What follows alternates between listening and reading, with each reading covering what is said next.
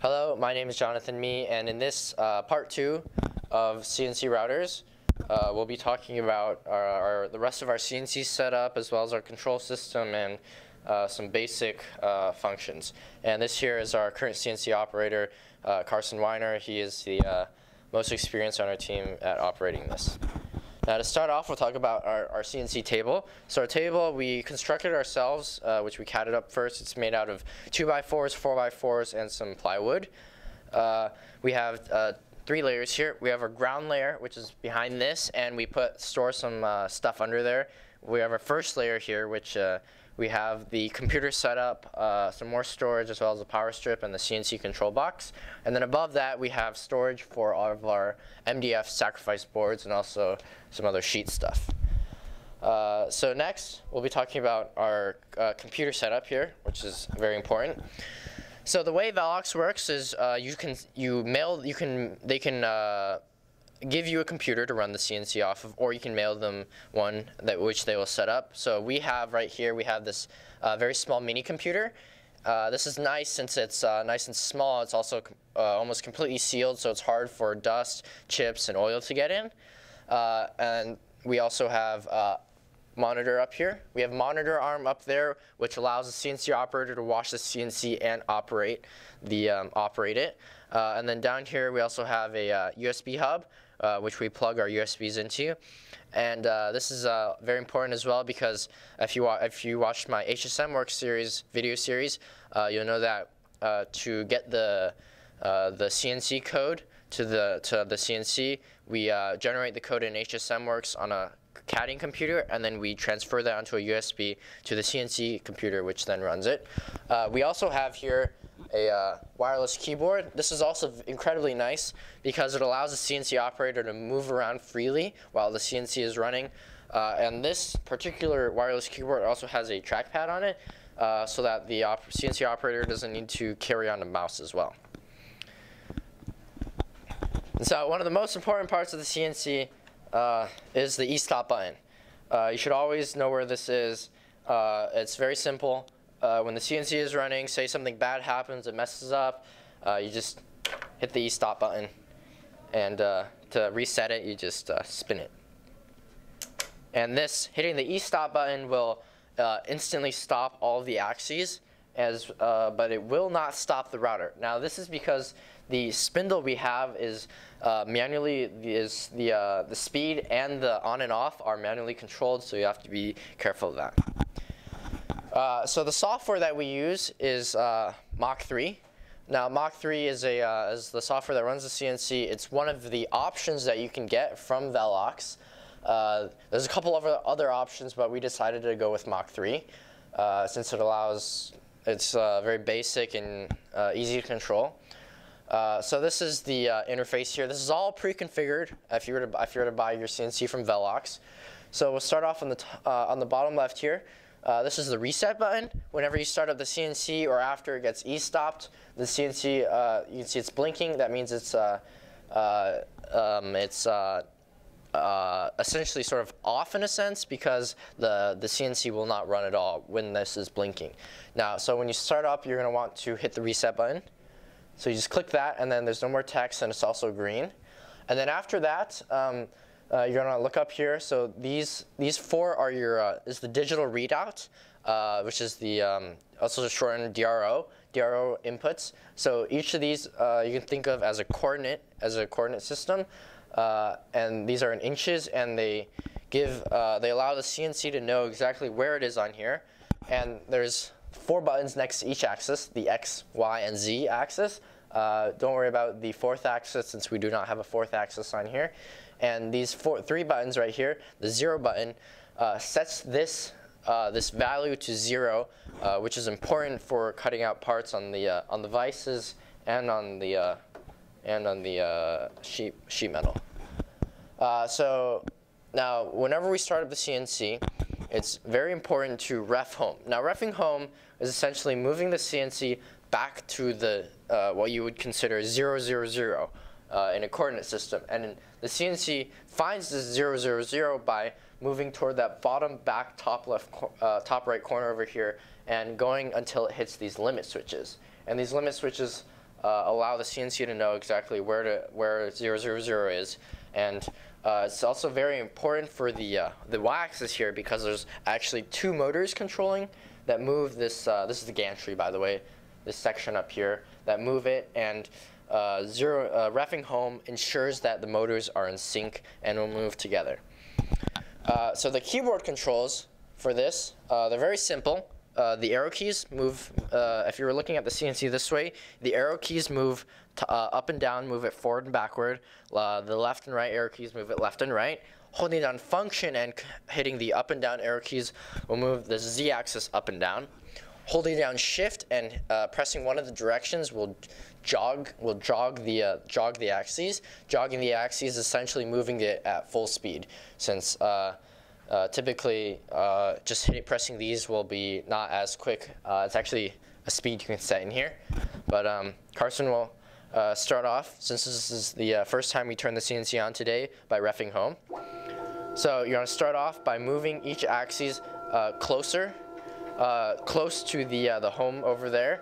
If it's already pressing a limit switch, uh, like the z-axis here, you're going to want to move it off the, um, off the limit switch. So you can see here he presses shift. Uh, he's moving it that way, up arrow key, and this way at the same time, which is the right arrow key. So he gets very close, and then he stops. Uh, for the z-axis, he'll also move it down a bit, since it is um, already pressing the limit switch. So holding down function and the down arrow key we'll move it down. So he's not jogging this one since he only has to move it a very short distance. Now if you want to move closer here, uh, you can actually, you can watch the, uh, uh, he'll press the ref home button and then you can watch as each of the axes hits the limit switch. So this is the z axis first, and then it moves on the y axis. Down here. You can see that presses the limit switch and then backs off and they should click for the y-axis at the exact same time, and that's how you'll know they're in sync.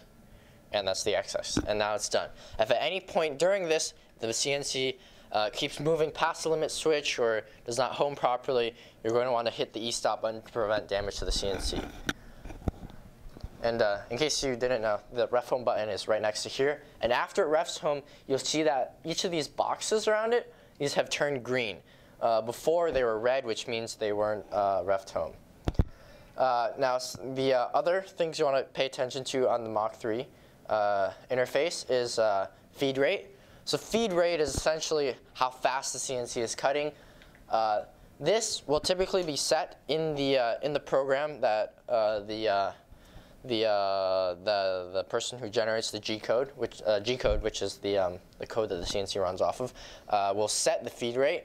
However, if the CNC is not cutting as optimally, the CNC operator can decide to feed rate override it by pressing the up key to increase the feed rate, the minus key to decrease the feed rate, and also the reset key to reset the feed rate to what it was set to in the program.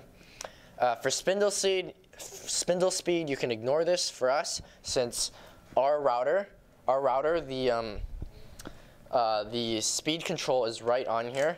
Uh, there's 21,000, 19,000, 16,000, 13,000, and 10,000 RPM.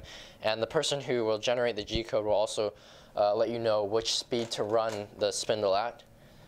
Um, uh, the tool information, we don't have you know an automatic automatic tool changer, so you can uh, ignore that as well. We have to manually change our tools. Uh, and then over here we have this right here. This is the uh, also very important, this is where you run the G-code. So uh, the buttons you want to pay attention to are load G-code and close G-code. So you can load, G load some G-code.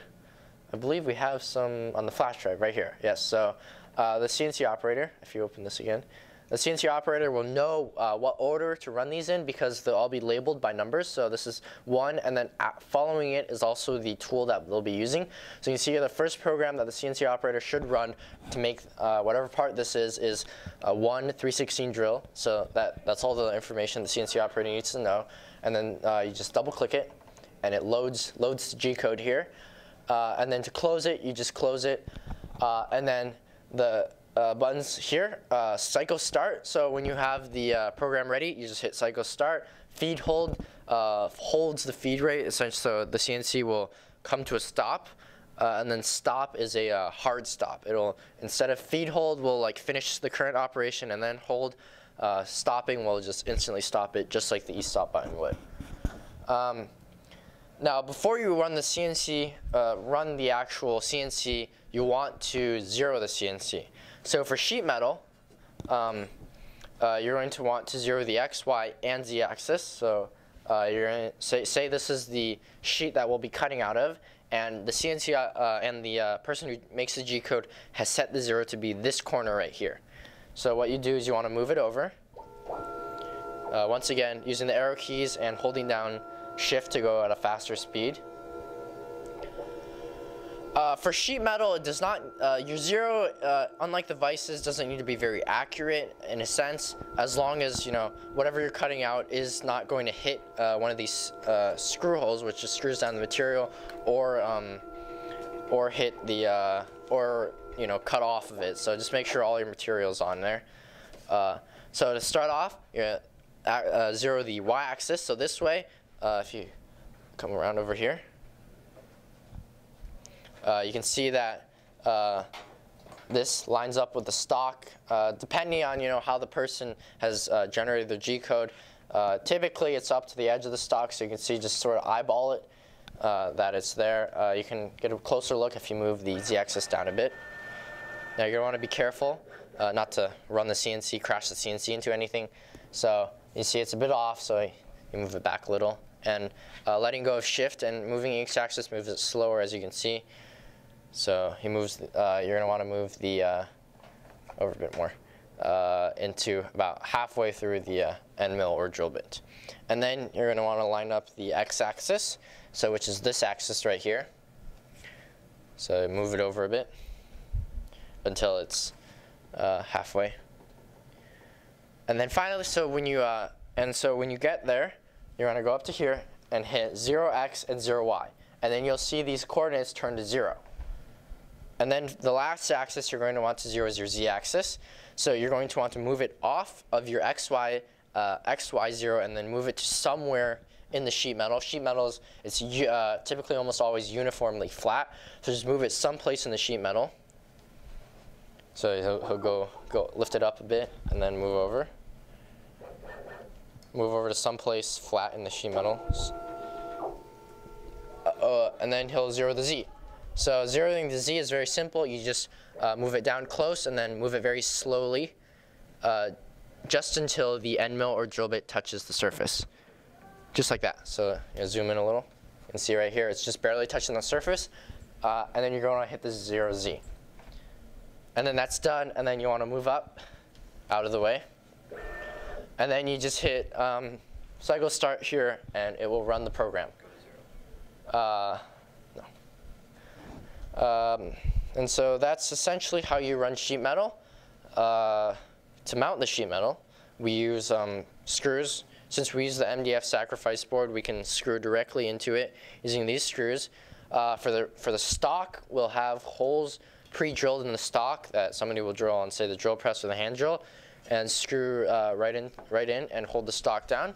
For parts, uh, since almost all of our parts are cut out of the sheet metal, yeah, uh, the um, you'll usually drill first. Use a 316 drill. Drill through the part, and the part will have holes, such as in this gusset right here. There's holes, and then the CNC operator will then uh, put use screws to hold down. To, uh, use screws in some of the holes to hold this part down, so that when they cut the outline, it will um, it will the part will remain fixed to the table and won't you know like fly out or something. And that will be all for part two, which is, uh, as a refresher, it's operating Mach 3, how we cut sheet metal, about our computer setup, and our CNC table. Thank you for watching.